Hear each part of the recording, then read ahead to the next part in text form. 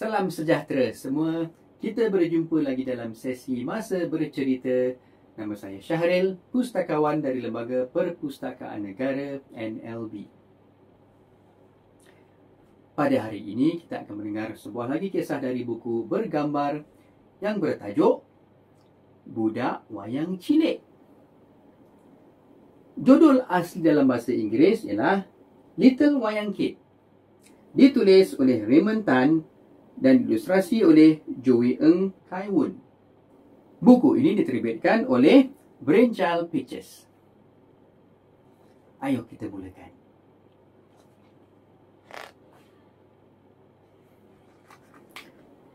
Budak Wayang Cilik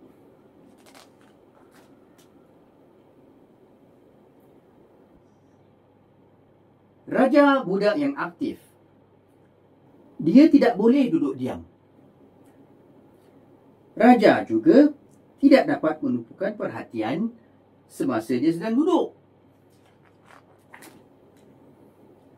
Raja suka berlari, melompat dan menendang sesuatu.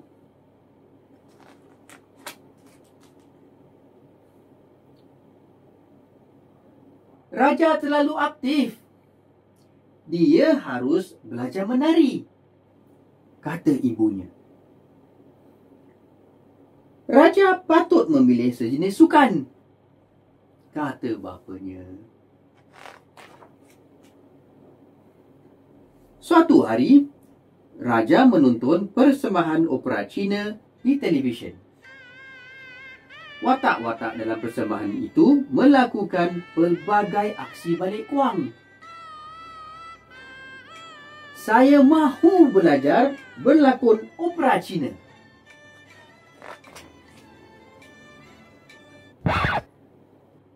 Mata amat terbeliak. Kita orang India. Kamu patut belajar tarian India. Singapura sebuah negara berbilang kaum. Alangkah bagus untuk kita memahami seni dan budaya kaum lain.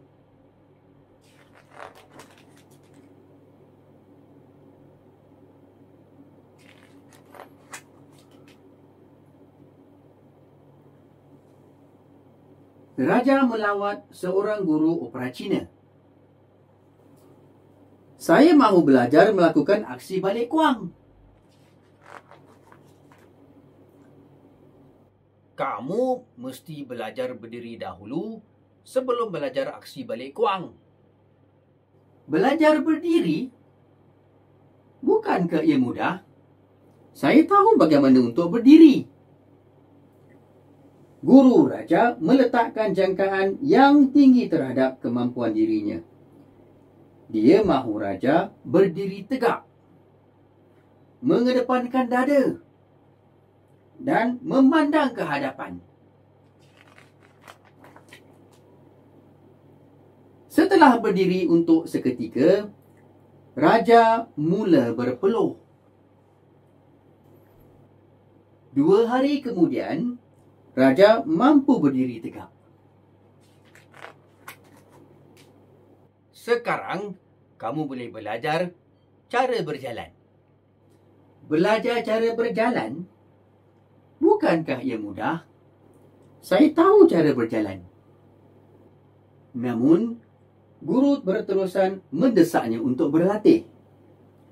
Raja mesti berjalan menurut garisan lurus dalam bentuk bulatan dan juga angka lapan. Inilah cara berjalan di atas pentas.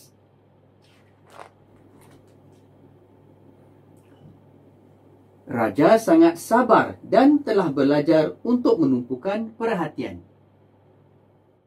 Sekarang, saya akan mengajar kamu melakukan aksi balik kuang. Raja melompat kegembiraan. Hebat sungguh! Raja tidak takut menghadapi kesukaran dan sanggup berpenat lelah. Dia belajar pelbagai jenis aksi balik kuang.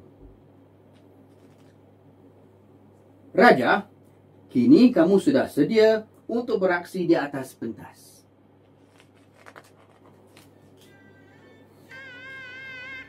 Apa ama, jiran, sahabat dan rakan sekolah raja datang untuk menyaksikan persembahannya? Raja mempersembahkan aksi balik kuangnya dengan baik.